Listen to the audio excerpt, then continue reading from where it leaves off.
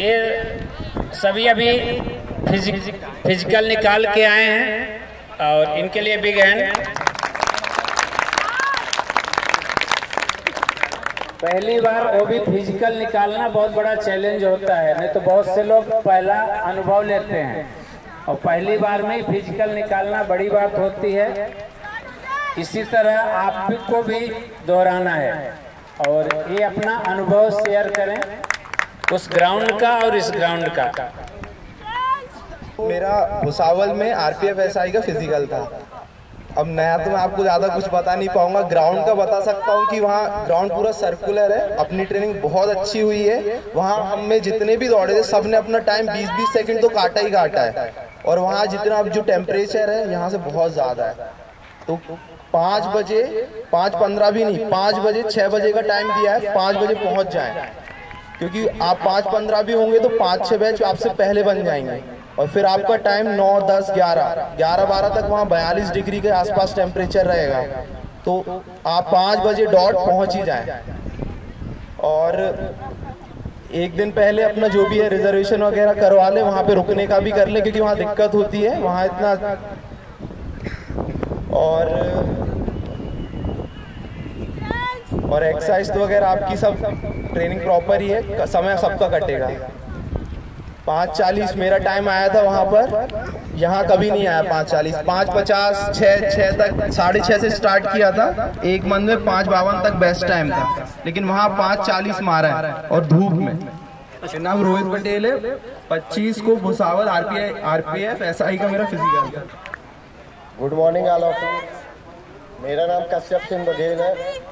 24 मार्च को आसनसोल में group C से आरपीएफ एसआई के लिए फ़िज़िकल था मेरा कि वर्कआउट करिए तो वहाँ पे आपको कोई भी दिक्कत नहीं होने वाली। जो अपना हाई जंप और लॉन्ग जंप होगा, वो लेट ही होगा बारह एक बजे तक तो उसके लिए तैयार रही और लॉन्ग जंप पे जो भी ट्रैक है, वो प्रॉपर नहीं है तो प्रैक्टिस खूब करिए लॉन्ग जंप की क्या कि बारह और चौदह फीट कूदना है तो वो आसान बात नहीं रहेगी। और मेज़रमेंट जो भी है तो वो सब मशीन से हो रहा है तो उसमें कोई भी दिक्कत की बात नहीं है। और सर ने जो भी कराया उसका बिल्कुल ध्यान रखिए और टाइम से पहुँचे। जितना जल्दी पहुँचेंगे, उतना सही है। क्या कि भीड़ बहुत है उधर पे। थैंक यू थोड़ा आगे आगे आगे। मेरा नाम सुमित यादव है। मेरा 25 मार्च को फ़िज़िकल था आरपीएफ एसआई का। सर के आशीर्वाद और सर की ट्रेनिंग की वजह से ही हमारा फ़िज़िकल निकला है। वहाँ पर यदि मैदान की बात की जाए तो जैसे रोहित ने बताया कि गोल मैदान है तो सर, यहाँ पे सर ने जितनी भी प्रैक्टिस करवाई कर्व के हिसाब से तो कर्व में ही अपन को दौड़ना है, पूरा गोल मैदान है। और वहाँ टेम्परेचर थोड़ा हाई भी है। और जैसे सर लॉन्ग जंप की प्रैक्टिस कराते हैं तो लॉन्ग जंप में वहाँ पे अपने यहाँ पट्टा है। तो उसके कारण वहाँ पे वहाँ पे भी चू, चूना नहीं है पटिया ही है। तो वहाँ पे लोगों के फाउल बहुत हो रहे हैं। बारह बारह फीट लोगों की लॉन्ग जंप निकल जाती थी लेकिन लोगों के फाउल ज़्यादा हो जाते थे। तो पहली बार मैंने देखा कि वहाँ पे हाई जंप से ज़्यादा लोग लॉन्ग जंप में निकल गए बाहर। तो आपको फाउल का ध्यान रखना है। और सर की ट्रेनिंग पे विश्वास कीजिए आप सबका भी फ़िज़िकल निकलेगा। वहाँ पे आप एक दिन पहले जाके होटल की बुकिंग अभी स्टेशन पे सोना पड़ा। तो यदि जिसका भी फ़िज़िकल है तो अभी से ही आप ऑनलाइन बुकिंग कर लीजिए होटल की व्यवस्था कर लीजिए, और आप सबको बेस्ट ऑफ़ लक जय हिंद दोस्तों, मेरा नाम दीपक कुमार सोनी है।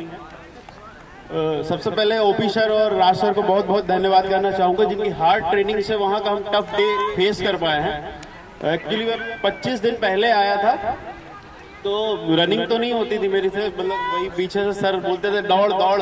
बस यही दिमाग में था कि दौड़ तो बस दौड़े ही। और सर की जो ट्रेनिंग होती है, यहाँ बहुत टफ ट्रेनिंग होती है। यहाँ जो फेस कर लिया, वो कहीं की भी फ़िज़िकल हो आराम से फेस कर लेगा। ये तो इतना समझ में आया। वहाँ हम ग्राउंड में गए, हम हमारे लिए ये अच्छी बात थी वहाँ, जो जितने बंदे हम यहाँ साथ में दौड़ते थे, वहाँ भी साथ में ही दौड़ने को हमें मिला है। तो उसकी वजह से भी हमारी मतलब फ़िज़िकल निकलने का भी अच्छा था।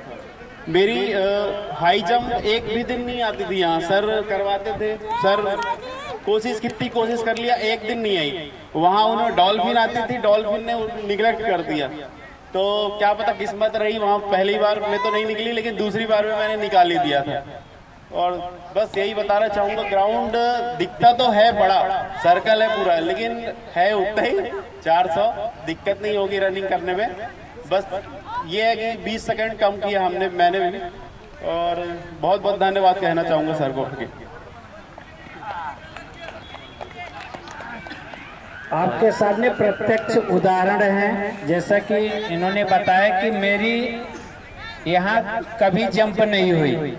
वहाँ ज़रूर मेरा हो गया। और पहली बार में हुआ।